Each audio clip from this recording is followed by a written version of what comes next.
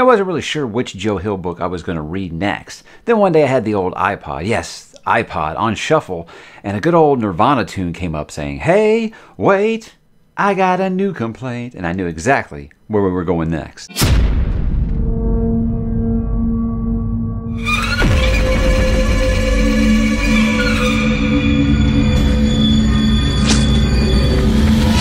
Hey, what's up, bookworms and Judas Coyne groupies? Mike back some more. Joe Hill. This time we'll be talking about the 2017 novel Heart Shaped Box. Now, this is his debut novel, and a lot of people didn't know is in 2005 he had written some short stories and released those in a collection known as 20th Century Ghost. Yes, I still got just the digital copy. I haven't actually got the physical on that. I know it's a sin for some people, but you know, hey, it's, I'm a book collector. Eventually, it's going to happen, right? But uh, this one was actually recommended to me before I knew who Joe Hill was. Like I said, I knew that Stephen King had three kids, and I didn't know any one of them named Joe Hill, right? Obviously, he was Joseph King back then. So I had no idea that this was the son of Stephen when he actually uh, come out. But uh, this is one that uh, has been recommended to me numerous times after I read Nosferatu and really, really enjoyed it, which I just talked about recently. In case you missed it, I did talk about Nosferatu earlier this week. Now, that was my introduction, Joe Hill. So this is the follow up. So am I going to enjoy it as much as I enjoyed Nosferatu, or is it going to be, even though I'm doing it out of a publication order, will this be a sophomore slump for me uh, as just like the second book of his that I read? Well, let's talk about if it is a good follow up here by getting into what is it about, you guys? Now, aging death metal rock legend Judas Coyne is a collector of the macabre. He's got a cookbook for cannibals. He's got a used hangman's noose, a snuff film, and a confession from a witch but nothing he possesses is as unique or as dreadful as his last purchase off the internet. A one of a kind curiosity that arrives at his door in a heart shaped box. A musty, dead man suit still inhabited by the spirit of its late owner. And now, everywhere Judas Coyne goes, the old man is there, watching, waiting, and dangling a razor blade on a chain from his bony hand. And he is always there, just watching and waiting to do, well, You'll find out, guys. That is 2007, the debut novel by Joe Hill. Okay, now, guys, with this, we're going to get what makes it good or bad. And look, I'm going to put you at ease here. You guys know what a Stephen King fan I am. I'm going to try not to bring that up too much because I know I did do that in the Nosferatu review. So what I'm going to try to do here is just talk about this as if he's just any old author, right? I will try to do that here. So uh, if you guys are worried that the whole time I do this, because I think that's unfair to him to kind of judge him based off of what his dad has done. So I'm going to kind of keep this as I would any book review. And that begins like usual, guys, with what makes it good or bad. The good for me, guys, I love Bon and Angus. Now, these are Judas Coyne's dogs. And yes, uh, I am a fan of dogs. I am quite a dog lover. I've had a dog ever since I basically can remember anything about this lifetime. I've had a dog. And so I think that I, the idea of his dogs being, you know, just kind of his animal companions, uh, I mean, time you're kind of dealing with uh, supernatural fantasy, I'm always here for an animal companion, right? So that's something that's very easy for me to get into because I love animal companions. And obviously, I love dogs and I love that they're named after members of AC/DC, right?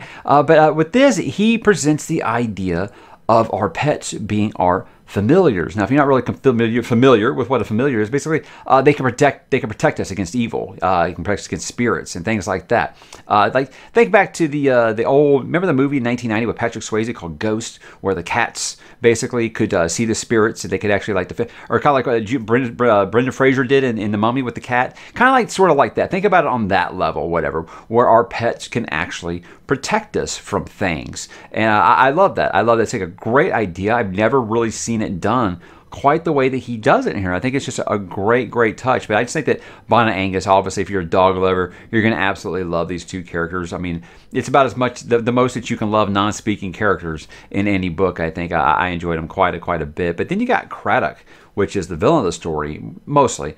Uh, he is legitimately creepy. Uh, and I would say about this book is I always say that once you get past a certain age, it's kind of hard for a book to scare you, really. There are some legit chills in this book that if you're reading it alone in the dark, in the middle of the night, you're going to start being like, what was that noise? Yeah, yeah, it's, it's got those kind of effects on it, you know. So uh, I think that uh, horror fans are going to be quite pleased. The premise is solid and the atmosphere is very, very bone chilling. I think we really get into it uh, a lot, and you will get the chills running up your spine, I think, more than once. I love Judas as a protagonist, really. I love the idea of an aging rock star. Now, you know, most of these horror stories, it's always they always kind of go with like the everyman. This one, he decides to go with a celebrity, but a celebrity that's clearly uh, past his prime. I mean, he's still very much in, uh, in, in the public consciousness. They, they still know who he is. You know, if he walks into a place, people are going to be like, "Oh my God, we know who you are," kind of thing. But this isn't like a guy who's like in the middle of, of touring and things like that. He's he's pretty much post his rock career, early retirement from rock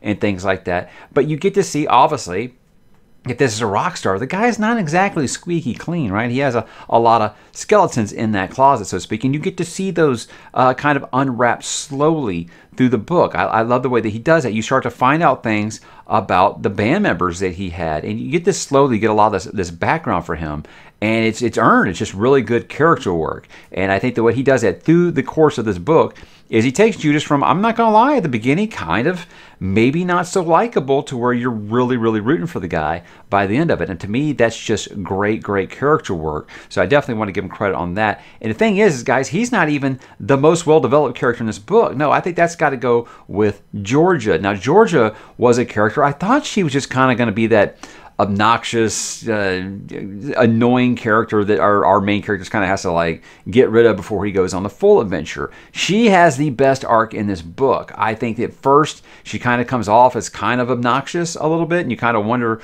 what her point is in the story. And over time, she becomes every bit as important as Judas. And I love the relationship that these two have. I mean, they're not married, but they feel like an old married couple. The way that they legitimately care for each other, they bust each other's balls, they fight, they love. I mean, it's it's really it's a really well done relationship. You can really see, this, especially a relationship where you've got the age difference that these two have. You really can see how well that is done here on these pages, and I think that he is just really, really good at that. So uh, building relationship trees too, and building their character arcs in this book, both are just brilliant. Uh, then you also have uh, Florida. Now, if you're wondering about the state names, I'll get into that in a minute. But uh, Florida, now you get uh, this is a character that has uh, passed away, but you get her backstory through the process of this book. And what I think is really wonderful about this is, is that it sounds weird to say wonderful, and then I'm going to say her story is very heartbreaking. Is I think he's able to touch on you know repressed memory from really really bad things in their life. People can do this, and depression. He tackles both of those just head on, goes all into it with this character. And I think it's done just superb. The way that he does it through flashbacks is really good. And I mean, look, you have a great, great character work for this trio. And I feel like all of them are really very different by the end of the story than they are at the beginning.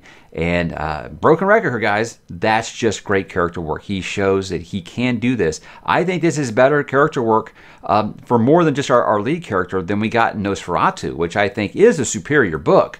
But I do think that the character work in this one is a little bit better because I think in Nosferatu, Vic was really well done. Uh, Lou was really well done. Everyone else was kind of like, oh, okay. Look, This, I think with these three, it's just it's just awesome. All three of them are done really, really well. And you know what? Craddock isn't done that badly either. He does a great job with our villain. But uh, look, it just has an incredibly sharp narrative. You've heard me complain in the past about uh, jumping around the timeline, and uh, Liza Lockman-Moore always comes up as the one that I always like bag on, saying that it was a really good story if they would have just had an editor that would try to chop down on the way the narrative was explained. With this, I think he does it perfectly. It's almost done in like that Lost way. You remember, guys, remember Lost, the TV show? Uh, when it was really, really excellent, is it would have the characters in now. And then when it was important to the story, they would flash back and show how they got to this point. And then it would go back to real time, and then it would flash back again and give you a little more. And it kept doing that back and forth, and it would finally at the end it would give you that big revelation as to why they're doing what they're doing now. And it does it just like that, just perfectly, perfectly paced, perfectly written. I cannot explain. The execution is done so well with that narrative, and so many authors drop the ball big time on that. He does not. He does it great. When you get those little flashbacks, they are always important and they're always perfectly timed. So, uh, hats off to him for that one. Also, if you're like me and you're into like 70s, 80s, 90s rock, I think you're going to have a great, great time with some of the references in here. AC/DC, obviously, like I said, with the dogs. Uh, he mentions If You Want Blood, You Got It, things like that. Uh, Zeppelin, Pearl Jam, obviously Nirvana, we heart shaped box, up to like Jackson Browne, things like that all kinds of stuff. Ozzy, anything that you guys were thinking of from that time period, uh, he kind of brings it up. But I, I, think it's never in a way that you have to know what these things mean to enjoy the story. It's just it's kind of one of those things like, hey, if you like it, uh, you, will notice it and you'll kind of be nodding along. Like, hey, that's pretty cool. I, I, like that. I like that quite a bit. So uh, obviously this is alternate history. So this guy was a big time rock star at the same time as some of these bands. Like he talks about, you know, opening up for Zeppelin one time and things like that. So uh, it's fun. It's fun to play around with a little bit, but. Uh, the big thing here, guys, I think it has a very satisfying ending. You know, um, not quite where, where Nosferatu, I said I felt like you was really you were holding your breath at the end because you didn't know which way it was going to go. With this, I don't think it's really like that. It's just it's a pretty optimistic ending, you know. And it was one of those kind of stories where you didn't feel like uh, it was going to have a happy ending. I think it's mostly, I'll say, optimistic. Like I said, it, it's pretty well done. And, it, and it's done in a way where I feel like if he ever wanted to return to these characters, he could. And now that I see that he does have a shared universe, maybe that will happen somehow, or maybe we'll see crossover one day. I don't know. We'll see. I, like, I was looking at his, um, his bibliography. It doesn't look like he's writing very many novels. Uh, at least he hasn't in a while. So uh, I'll address that at a different guy, time, guys. Let's get into uh, the bad here. There are some things that may not click for you. Didn't necessarily mean they were bad for me. Some things that just might bother a couple people. Uh, I think early on, uh, the probably the one real writing flaw that I have in this is it's kind of hard sometimes to decipher, and this might have been intentional. Uh, to decipher what is actually happening and what is like a dream or a vision or something like that uh, because there are moments where things are going on early in the book. I'm like, is, this a memory? Is this actually happening? Or is he dreaming right now? And I think a lot of authors do this. And I'm just like, I never know what's actually happening right now. But like I said, he might have done this intentionally to kind of create confusion with the story early on. I, I don't know. I don't know. That might actually take you out of. It did a couple times. It did really confuse me a little bit. But now that I've finished it, I can look back on it and be like, okay, I bet that was actually intentional to be that way. Uh, the prose isn't spectacular, but again, guys, if you're looking at this as he was a debut novelist, I think it's quite well. It helps when you have one of the best-selling authors all time in your house, probably to be your your alpha reader. I think that probably helps a lot to get make sure that your your writing is pretty pretty good. So uh, there is that. But uh, yeah, nothing that's going to make you ever be like, ah, oh, God, this guy, what, what is he trying? He's like some fragmented sentences and stuff. You're not going to be doing that. I think it's it's good enough for that. Uh, naming numerous characters after states is kind of obnoxious. Uh, Florida, Georgia, Alabama, Tennessee. Now I've met people like that. Like when I first moved to Texas, I did have people on the baseball team in high school say, "Hey Georgia" or "Hey Atlanta, get over here." That's where I moved from.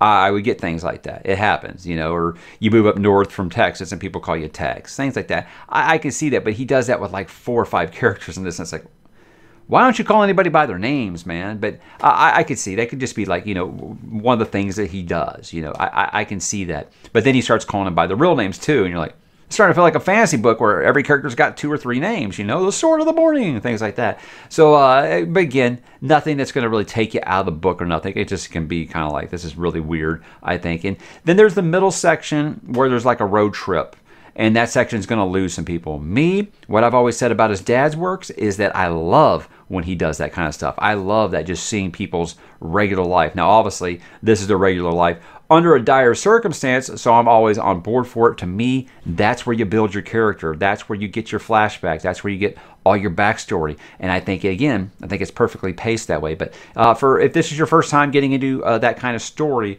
it might uh, it might be a drag for you. But uh, I would nothing I'd call bad at all. Let's get on to why you should read it, guys. I think this one's pretty simple if you like animal companions, you're going to be really, really on board for this. Again, I think the things he does with animals in this is really, really a sharp idea. And if it's been done before, I haven't really seen it quite the way that he does it here. Uh, I, just, I just love the idea. It was probably my favorite thing about this whole book. If you're interested in ghost stories, this is one of the better ones that I've read. I think this one will stick in your head a little bit. If you're into hauntings, if you're into the occult, things like that, you're going to find some things quite enjoyable with this. I think you'll, like I said, you'll, you'll, you'll be thinking about this for a few days after you finish. This isn't one of those five minutes, uh, five minutes after starting to read something else you've already kind of forgot about it. You'll still be thinking about some of the things in here. Like I was walking through my house in the dark the other night, and we just got new furniture, and uh, I didn't recognize the way that the arm on the, the, new couch looked, and I thought it looked like somebody's leg, and it scared the shit out of me. And all I could think about was Craddock in this when he first sees him sitting in a chair. So